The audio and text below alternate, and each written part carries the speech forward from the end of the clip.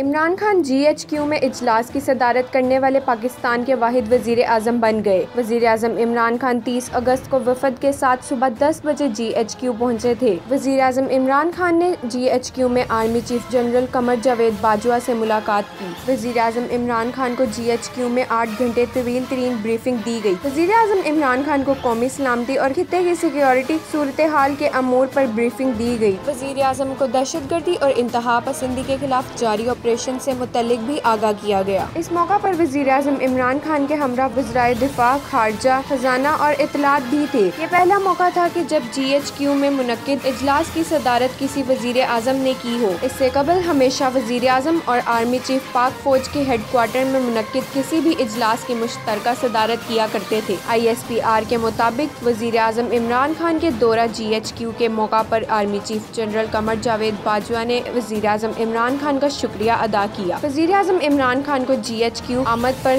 Guard of honour پیش کیا گیا۔ وزیر اعظم عمران خان نے جی ایچ کیو میں یادگار شہدا پر پھول چڑھائے۔ عروج خالد 25 نیوز اسلام آباد۔